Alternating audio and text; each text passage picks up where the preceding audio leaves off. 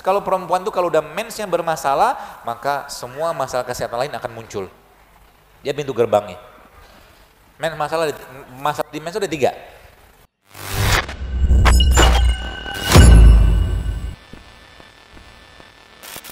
Jadi kalau anda ikut program-program dia itu, anda kalau tahu ilmu ini gampang banget nurunin berat badan.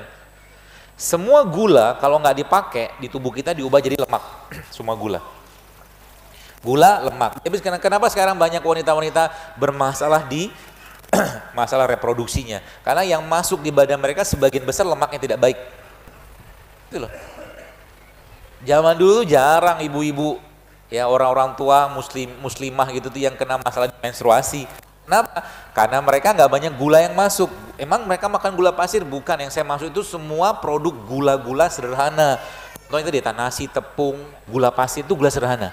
Ketika masuk di badan, terus sekalian nggak bisa diolah, dia diubah menjadi lemak. Ketika digunakan untuk bahan bakunya, bikin hormon, hormonnya berantakan semua.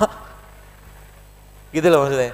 Akhirnya apa? Spermanya bermasalah, hormon perempuannya pun bermasalah plus lagi cemasnya luar biasa jadi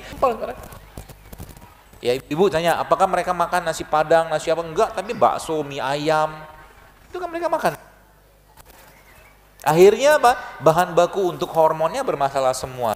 Dan akhirnya tubuhnya ngasih tanda. Tandanya apa? Kalau perempuan tuh kalau udah mens yang bermasalah maka semua masalah kesehatan lain akan muncul. Dia pintu gerbangnya. Men, masalah masalah di mens ada tiga. Waktunya yang lama, nyerinya yang berlebihan, jumlahnya yang berlebihan. Jadi kalau wanita menstruasi harusnya mens saja. Darah, nggak ada nyeri, nggak ada apa, tiba-tiba berapa hari kemudian, lima hari selesai. Itu harusnya normalnya kayak begitu. Nggak boleh nyeri. Kalau udah nyeri, ada yang nggak beres nih. Coba cek, trace masalahnya apa. Maka kalau ketemu dengan penyakit, jangan langsung diobatin. Lagi pusing, jangan langsung minum paracetamol, minum air putih dulu karena banyak dehidrasi terjadi gara-gara kurang air. Ya, termasuk lagi gak enak hati. Badan kita bapak sekalian sebenarnya merespon apa yang masuk ya, respon apa yang masuk. Jadi subhanallah, kalau udah ngerti dengan badan kita itu bapak sekalian ya, ngerti dengan badan kita tuh asik ngobatinnya, gampang banget, asal ngerti polanya. Asam amino yang pertama kan tadi. Sumbernya mana ini nih semua nih. Maka jangan pernah lepas sayur dan buah tiap hari. Karena mereka living foodnya. Living foodnya. Dan sayur dan buah kayak seperti ini, ini kan tadi katakan ini, uh, semakin sesuatu dilindungi Allah, semakin berharga dia. Jadi saya pas ke sini sama Mas Ferry, lihat orang jual duren.